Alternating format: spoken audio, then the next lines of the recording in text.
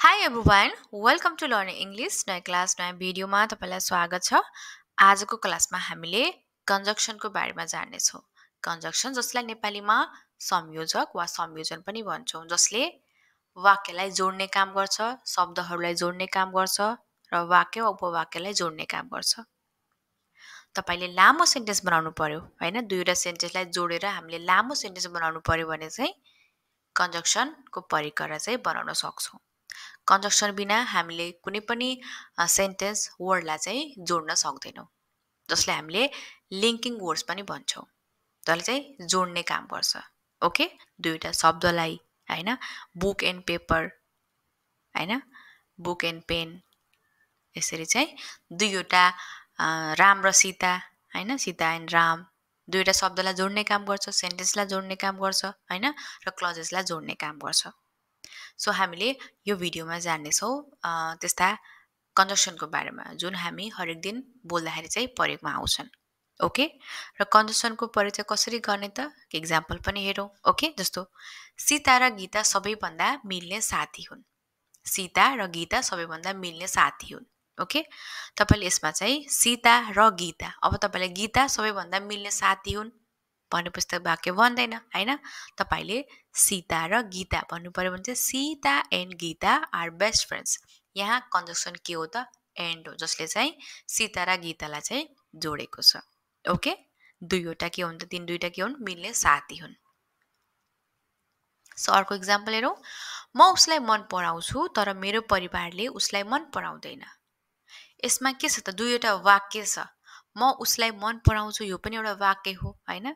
मेरो परिवारले उसलाई मन पराउँदैन। यो पनि एउटा वाक्य हो होइन? कन्जक्सनको प्रयोग गर्नु पर्यो I like him but my family doesn't like him के हो त यसमा चाहिँ कन्जक्सन बट भयो ओके त्यस्तै अर्को पनि हेरौँ। उसले मलाई फोन गर्यो। हि कल्ड मी र यो वाक्य भयो मैले phone उठाइनँ। I didn't pick up the phone उसले मलाई फोन गर्यो मैले फोन उठाइनँ। होइन I didn't pick off the phone so यसलाई चाहिँ हामीले एउटै यी दुईवटा वाक्यलाई के गर्ने त? कन्जसनको प्रयोगबाट चाहिँ के गर्ने? जोड्ने। यसमा चाहिँ के ठिक हुन्छ होला त? होइन उसले मलाई फोन गर्यो मैले फोन उठाइनँ। सो के हुन्छ त? He called me but I didn't pick up the phone उसले मलाई फोन गर्यो तर मैले फोन उठाइनँ। बोल्नु पऱ्यो भने चाहिँ यी दुईवटालाई जोड्ने चाहिँ के हुन्छ त? बटले चाहिँ जोडेको छ तर मैले फोन उठाइनँ। उसले गर्यो मैले उठाइनँ तर मैले उठाइनँ होइन यसरी बोल्नु पऱ्यो भने। सो दुईवटा सेन्टेन्स दुईवटा वर्डलाई जोड्नेको लागि चाहिँ हामीले कन्जक्सनको शब्दबाट चाहिँ कन्जक्सनको प्रयोगबाट चाहिँ जोड्न सक्छौँ। र हामीले लामो सेन्टेन्स चाहिँ बनाउन सक्छौँ। ओके सो इक्जाम्पल हेरौँ है त। ती शब्दहरू के के हुन्? जानौ। पहिलो छ एज एज भनेको जस्तै। जस्तै कति बेला भने जस्तो कुनै तरिका बताउँदै हुनुहुन्छ भने चाहिँ होइन? जस्तो he did as I said उसले मैले भने जस्तै गर्यो के त? मैले जे तरिका बताएको थिएँ उसले त्यही अनुसारै गर्यो भन्नु पऱ्यो भने चाहिँ he did as I said okay? मैले भने जस्तै गरेँ या तरिका बताउने कुरा भयो होइन? मैले जे भनेको थिएँ त्यसले चाहिँ के गर्छ? त्यस्तै नै गर्यो उसले भन्न चाहिँ बोल्नु पऱ्यो भने एज भनेको जस्तै ओके? बट बट भनेको तर। He is poor but happy ऊ गरिब छ तर खुसी छ। बटको अर्थ के हुन्छ त? तर। ओके हि इज पुवर ऊ गरिब छ। गरिब भएर पनि के छ त? खुसी छ but happy okay because because भनेको किनभने किनकि कारण बताउनु पर्यो। एक्ज्याक्टली कारण के हो त? मेन कारण के हो त? होइन? बताउनु पर्यो भने चाहिँ। बिकजको परिकन जस्तो example I trust him because he speaks the truth. I trust him because he speaks the truth. Okay म उसलाई विश्वास गर्छु किनकि उसले सत्य बोल्छ। He cannot walk because he has fever he cannot walk ऊ हिँड्न सक्दैन। किन? किनभने उसलाई ज्वरो आएको छ because he has fever okay अर्को छ। अन्टिल अन्टिल भनेको सम्म। तपाईँले चाहिँ यसमा टाइमको कन्टेक्स्टमा टाइमको सन्दर्भमा चाहिँ बोल्नु पऱ्यो यति बजेसम्म बिहानसम्म साँझसम्म होइन अधार नौजेलसम्म यसरी चाहिँ तपाईँले कुन टाइम पिरियडको बारेमा बोल्दै हुनुहुन्छ भने चाहिँ अन्टिलको प्रयोग गर्ने। जस्तो you can go out and play until it gets dark अँध्यारो नभएसम्म। के भयो त यहाँ? अँध्यारो नभएसम्म तिमी बाहिर खे गएर खेल्न सक्छौ। ओके? टाइम के त अँध्यारो नभएसम्म भनेर बोल्नु पऱ्यो भने चाहिँ ओके? सो अर्को छ अनलेस अनलेस भनेको जबसम्म वा नगरेसम्म यो कन्डिसनको कन्टेक्स्टमा हुन्छ। कसो त? सर्त तिमीले यस्तो नगरेसम्म यस्तो हुन्न भन्न खोजेको। जबसम्म तिमीले यस्तो गर्दैनौ तबसम्म के त? त्यस्तो हुँदैन। नगरेसम्म चाहिँ सर्त हुन्छ नि एउटा होइन? यस्तो नगरेसम्म चाहिँ यस्तो हुँदैन भनेको जस्तो you will fail unless you work hard तपाईँले कडा परिश्रम नगरेसम्म असफल हुनुहुनेछ। के त? होइन? के गर्नु पऱ्यो त? यहाँ असफल हुन सफल हुनको लागि चाहिँ कडा परिश्रम गर्नु पऱ्यो कडा परिश्रम नगरिकन के हुन्छ त? फेल हुन्छ सो नगरेसम्म भन्नु पऱ्यो जबसम्म तपाईँ तपाईँ फेल हुनुहुन्छ जबसम्म तपाईँ कडा परिश्रम गर्नुहुन्न। होइन? यसरी चाहिँ तपाईँले सर्ट भन्न चाहिँ को केसमा चाहिँ बोल्नु पऱ्यो भने चाहिँ। अर अर भनेको वा अथवा अप्सनको कन्टेक्स्टमा अप्सन दिनु पऱ्यो तिमी यो वा यो बुक अर कपी बुक या पेन बुक वा पेन होइन यसरी चाहिँ। So do you want tea or coffee तपाईँ चिया लिनुहुन्छ वा कफी? चिया वा कफी? टी अर कफी यसरी चाहिँ। आइदर अर या त कि त दुईवटा मध्ये कुनै एक भनेर बोल्नु पऱ्यो भने चाहिँ। दुईवटा मध्ये कुनै एक कोही एक भन्नु पऱ्यो भने चाहिँ आइदर अर। जस्तो either Hari or Piyush is in that room. या त हरि वा पियुष त्यो कोठामा छन्। या त हरि कि त पियुष कोठामा छन् भनेर बोल्नु पर्यो। Either Hari or Piyush is in that room. Neither nor न त। के त दुईवटा दुईवटा मध्ये दुईवटा मध्ये कोही पनि नाइ कुनै पनि नाइ केही पनि नाइ दुई मध्ये कुनै पनि नाइ भनेर बोल्नु पऱ्यो भने चाहिँ neither nor neither I can dance nor I can sing न त म नाच्न सक्छु न त गाउन सक्छु के त?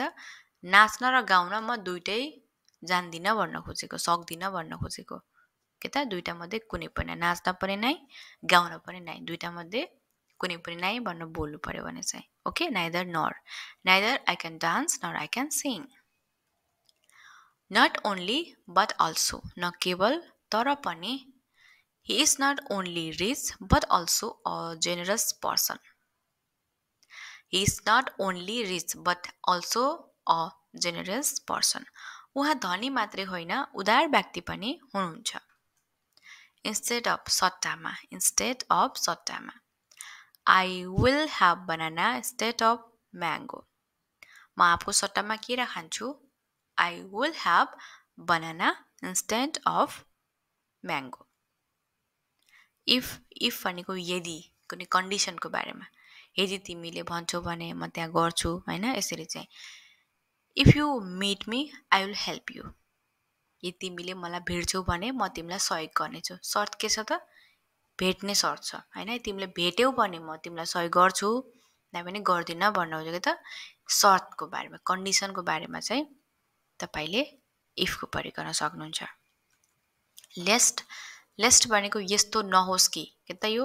एकदमै डियरवाला होइन? यस्तो नहोस् कि भनेर चाहिँ धम्कीवाला हुन्छ नि। त्यसबाट लेस्टको प्रयोग गर्ने। Study hard lest you fail in the exam मेहनतले अध्ययन गर यस्तो नहोस् कि तिमी परीक्षामा फेल हौ। Okay study hard lest you fail in the exam in the exam मेहनतले अध्ययन गर यस्तो नहोस् कि तिमी परीक्षामा फेल हो। आफ्टर आफ्टर भनेको पछि। Rohan came to see me after you left Rohan came to see me after you left Rohan मलाई भेट्न आएका थिए तिमी गएपछि बिफोर पहिले। She told me about you before we met she told me about you before we met उनले मलाई तिम्रो बारेमा बताइन् हामी भेट्नुभन्दा पहिले। एज फार एज जहाँसम्म। जहाँसम्म भनेको त एज फार एज जहाँसम्म म देख्न सक्छु ऊ त्यहाँ छैन।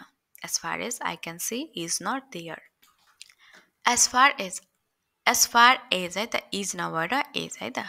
Far as I can see he is not there अर्को example as far as I know who is never come on time जहाँसम्म मलाई थाहा छ ऊ कहिले पनि समयमा आउँदैन. As far as I know he is never come on time as well as साथसाथै एज वेल एज साथसाथै you are my business partner as well as my best friend तिमी मेरो बा व्यापार साझेदार हो अथवा पार्टनर हो बिजनेस पार्टनर हौ साथसाथै के पनि हौ त मेरो सबैभन्दा मिल्ने साथी पनि हौ भनेर बोल्नु पऱ्यो भने। यसको साथसाथै यो पनि भनेर बोल्नु पऱ्यो भने चाहिँ as well as okay as soon as बित्तिकै वा जति सक्दो चाँडो सकेसम्म चाँडो बित्तिकै होइन म घर पुग्ने बित्तिकै तिमीलाई फोन गर्छु। सके सबै सकेसम्म चाहिँ छिटो पठाइदिनु कुनै सामान होइन? यसरी चाहिँ। I will call you as soon as I arrive म आइपुग्ने बित्तिकै तिमीलाई फोन गर्नेछु। I will call you as soon as I arrive. Where जहाँ? I can guess where you are going. म अनुमान गर्न सक्छु जहाँ तिमी जाँदैछौ। I can guess where you are going. When when भनेको जब।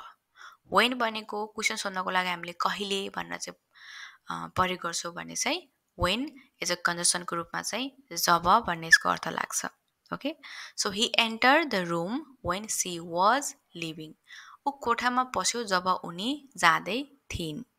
He enter the room when she was leaving while while भनेको जतिखेर जुन बेला। I went to the party while your sleeping Went to the party while you were sleeping. म पार्टीमा गएको थिएँ जुन बेला वा जतिखेर तिमी सुतिरहेको थियौ। वेरेभर वेरेभर भनेको जहाँसुकै। You will succeed wherever you go तिमी जहाँसुकै गए पनि सफल हुनेछौ। हु भनेको को? I want to know who gave you this book म जान्न चाहन्छु यो पुस्तक तिमीलाई कसले दियो? एभर जहिले पनि you can call me whenever you want you can call me whenever you want तिमी मलाई कल गर्न सक्छौ जहिले तिमी चाहन्छौ। तिमीलाई चाहिँ जहिले पनि मलाई कल गर्न सक्छौ होइन? भनेर बोल्नु पऱ्यो भने। एज इफ एज इफ भनेको जस्तो कि मानौ होइन? He scolded me badly as if he was my father उसले मलाई नराम्रोसँग गाली गर्यो। मानौ ऊ मेरो बुवा हो। जस्तो कि ऊ मेरो बुवा हो। होइन he scolded me badly as if he was my father त्यही त द्याट्स वाट त्यही त म बोलिरहेको थिएँ that's what I was saying that's what I was saying त्यही ठाउँ त द्याट्स वेयर त्यही ठाउँ त हामी जानेछौँ that's where we will go there that's where we will go there त्यसैले वा त्यही भएर द्याट्स वाइ त्यही भएर म त्यहाँ जाँदिनँ। That's why I don't go there that's why I don't go there यसरी वा यसरी नै द्याट्स हाउ कुनै प्रक्रियाको बारेमा चाहिँ बताउनु पर्यो तरिका प्रक्रिया यसरी नै होइन म यसरी नै पढ्छु यसरी नै भनेर चाहिँ बोल्नु पऱ्यो भने जस्तो। यसरी नै म अङ्ग्रेजी बोल्न चाहन्छु। That's how I want to speak English that's how I want to speak English otherwise otherwise अन्यथा वा नत्र।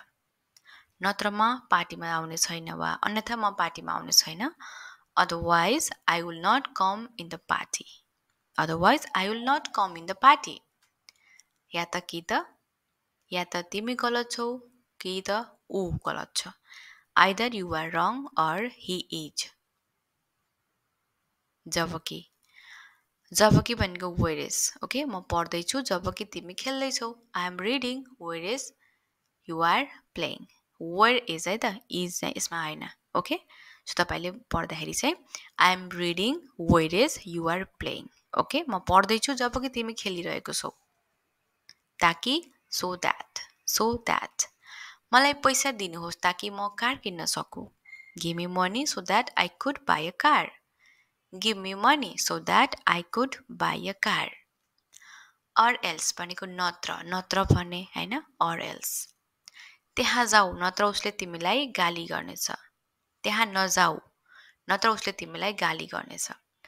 Don't go there or else he will scold you don't go there or else he will scold you तब पनि even then even then मैले उसलाई निमन्त्रणा गरेँ तब पनि ऊ आएन।